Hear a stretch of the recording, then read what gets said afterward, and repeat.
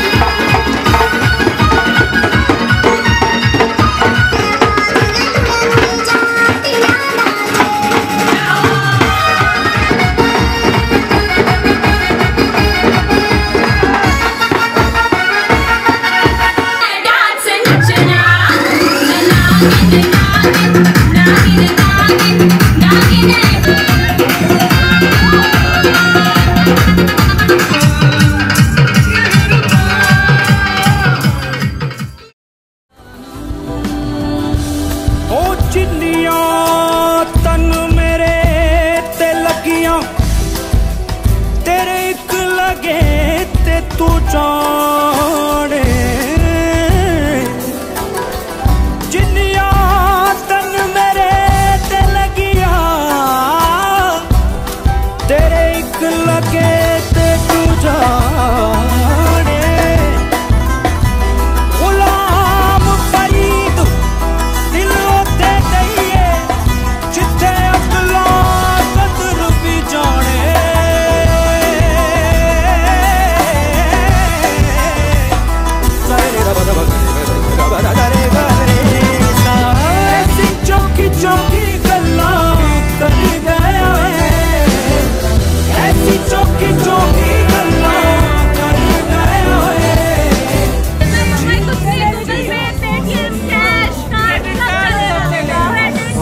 Thank you.